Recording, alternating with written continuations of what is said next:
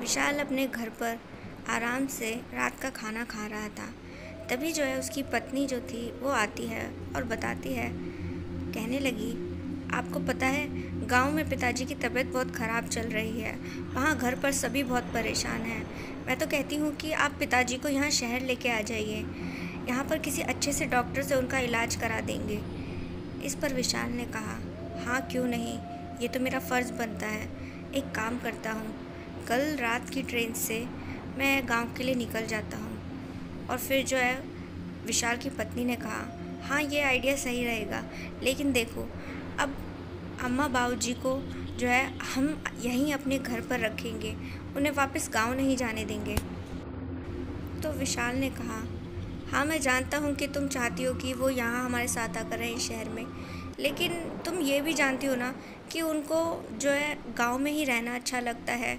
वो अपने बड़े भाई के साथ गाँव के उस घर में ही रहना ज़्यादा पसंद करते हैं। पर चलो कोई बात नहीं, मैं तुम्हारी खातिर एक बार उनसे ज़रूर ये बात कहूँगा। तो फिर इसके बाद जो था, विशाल खाना खाकर रात को सो गया। फिर अगले दिन वो अपना जो है जॉब पर गया और जॉब से आने के बाद देर रात जो है वो ट्रेन से भोलापुर के लिए निकल पड़ा। यहाँ पर जो ये जो ट्रेन थी, जब वो रास्ते में जा रही थी, सब कुछ सही था, सब कुछ अच्छा चल रहा था। विशाल के डब्बे में एक आदमी बैठा हुआ था, गुमसुम सा, चुपचाप सा। विशाल को लगा कि उसे, उस आदमी से कुछ बात करनी चाहिए। इससे सफ़र जो है, बड़े ही आराम से कट जाएगा बातों बातों में। तो विशाल ने जब उस आदमी से बात शुरू की तो उसने कहा हेलो भाई साहब, मेरा नाम विशाल है। और आपका नाम क्या है? इस पर उस आदमी ने कहा, मेरा नाम जानकर तुम्हें क्या करना है? चुपचाप से बैठे रहो। मुझे तुमसे कोई बात नहीं करनी। तो विशाल ने कहा, अरे, इसमें इतना अकड़ के कहने वाली कौन सी बात है? मैंने तो सिर्फ़ आपका नाम ही पूछा था और इससे ज़्यादा कौन सा आपका बैंक अकाउंट पूछ लिया था? वो आदमी जो है, विशाल को घूर कर देखने लगा और फिर वापस से जो है, शांत होकर बैठ गया। विशाल मन ही मन उस आदमी के बारे में सोचने लगा कि न जाने किस तरीके का इंसान है। और फिर तभी जो है, अचानक से ट्रेन में एक झटका लगा। तो विशाल जो था, वो अपनी सीट से थोड़ा इधर उधर हो गया और वो जो सामने जो आदमी बैठा था, वो भी। तो इसके बाद जो था, विशाल खिड़की से बाहर देखने लगा कि ये जो ट्रेन है, किसी सुनसान जंगल में जाकर बीच में रुक गई है। तो उसे लगा कि आगे जाकर पता करना चाहिए कि ये क्या हुआ है। तो जैसे ही वो खड़ा हुआ तो उस आदमी ने उसे रोक दिया और बोला, यहाँ से कहीं और जाने की ज़रूरत नहीं है। नहीं तो बहुत पछताना होगा। तो विशाल ने कहा, रहने दो, तुम्हारी बातें मेरी समझ में नहीं आती। इसके बाद जो था, विशाल अपनी जगह से खड़ा होकर यहाँ वहाँ ट्रेन में घूमने लगा। तो उसने देखा कि ट्रेन जो थी जो कि मतलब बिल्कुल खाली थी। वहाँ दूर दूर तक। उस आदमी के अलावा और विशाल के अलावा कोई था ही नहीं। अब विशाल जो था, परेशान हो गया और वो ट्रेन से जैसे ही नीचे उतरा तो चारों ओर घना जंगल आसपास एकदम भयानक रूप लेकर उसको नज़र आ रहा था।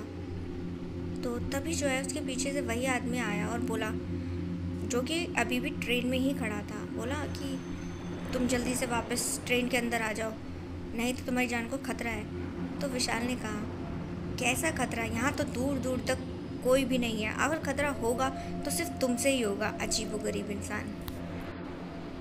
इसके बाद ये जो आदमी था, विशाल का हाथ पकड़ लिया और उसको अंदर जो है ट्रेन के खींचने लगा।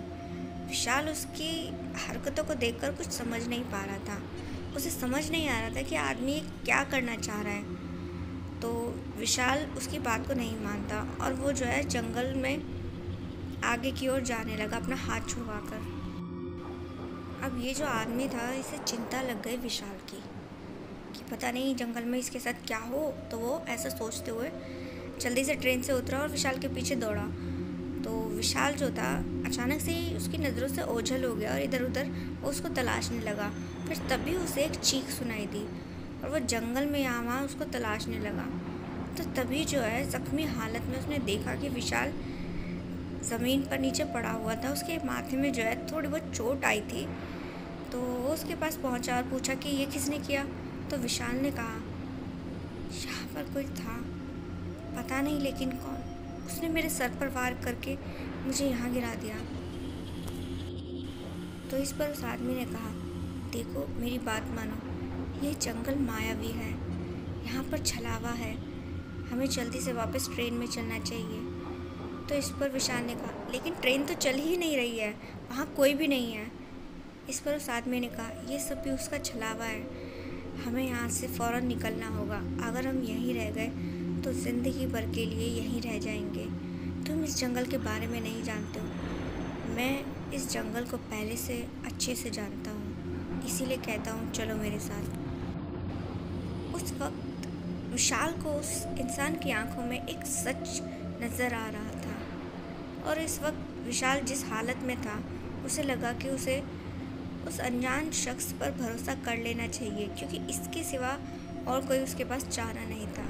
तो विशाल उस आदमी को अपना हाथ देता है तो वो आदमी उसको सहारा देकर खड़ा करता है। वो जैसे ही खड़ा करता है तो पत्तों में जो है कुछ हिलता हुआ नज़र आता है। यहाँ पर दोनों घबरा गए। थोड़ा थोड़ा धीरे धीरे वहाँ से खिसकने लगे। तो तभी जो है, उस काले अंधेरे घने जंगल में उन्होंने एक भयानक सी चीज़ को देखा।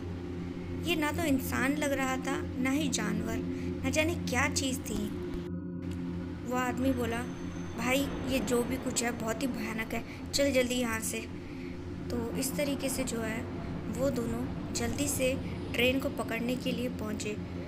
तो जब वो ट्रेन में चढ़ गए तो तभी जो है वो अजीबो करीब सी चीज़ या जानवर जो था, वो भी उनके साथ ट्रेन में चढ़ गया।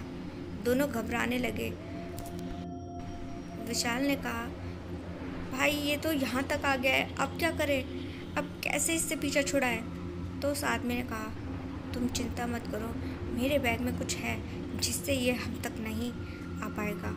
तो वह आदमी विशाल को वहीं पर छोड़कर फ़ौरन से अपने डब्बे में गया और अपने बैग में कुछ तलाशने लगा।